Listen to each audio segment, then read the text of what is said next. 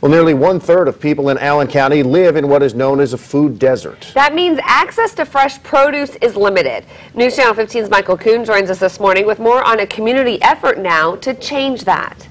Well, in the most recent Gallup report, Fort Wayne placed 152nd out of 189 American cities when it comes to community rankings for healthy eating. That's why the St. Joseph Community Health Foundation and Parkview Health have joined forces. The community effort is called Healthy Eating Active Living, or HEAL. The group hosted a special event last night to showcase what they do and how it can impact people in the community. It aims to provide healthy produce items to people in areas of town that don't have grocery stores nearby, also known as food deserts. One of those areas is the corner of Edsall and McCormick Avenue. That's the location of one of five summer farmers markets that HEAL supports. Those markets offer fresh produce items at affordable prices in targeted neighborhoods.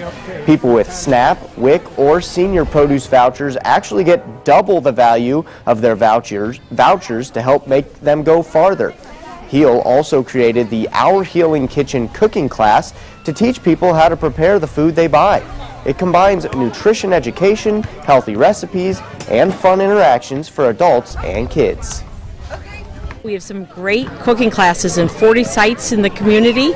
We have a lot of churches, community centers who are teaching. Um, they, we train them, or the curriculum, provide them with some of the materials, and they are doing a lot of cooking classes, how to use all this. Organizers say it's all in an effort to empower people to live healthier lives.